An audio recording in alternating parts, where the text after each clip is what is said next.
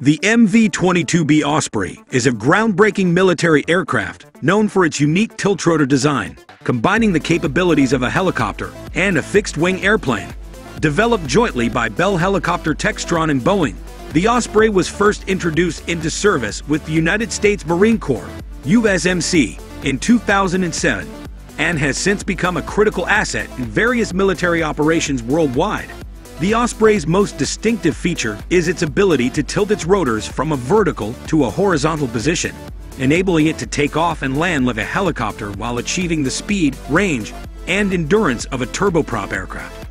This versatility allows the Osprey to overcome traditional helicopter limitations and reach remote locations or operate from amphibious assault ships, expanding the scope of military missions.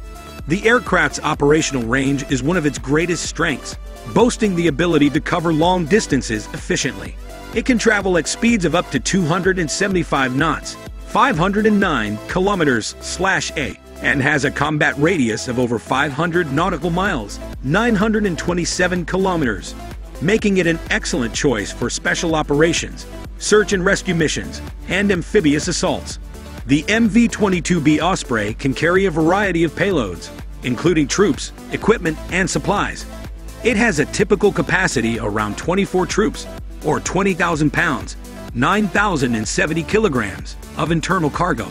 Furthermore, it can be equipped with external cargo hooks for carrying large items, making it a valuable asset for humanitarian assistance and disaster relief operations. In terms of defensive capabilities, the Osprey is equipped with advanced self-defense systems, including radar and missile warning sensors, countermeasures dispensers, and a suite of electronic warfare systems. This enables it to operate in hostile environments and increases its survivability during combat missions. The Osprey's deployment in real-world scenarios has demonstrated its effectiveness and adaptability. It played a crucial role in a wide range of military operations, including combat missions in Iraq and Afghanistan, humanitarian missions in response to natural disasters, and rapid deployment exercises to support various international allies. Despite its many advantages, the Osprey has faced challenges and controversies throughout its development and operational history. In its early stages, it experienced accidents and setbacks that raised concerns about its safety and reliability.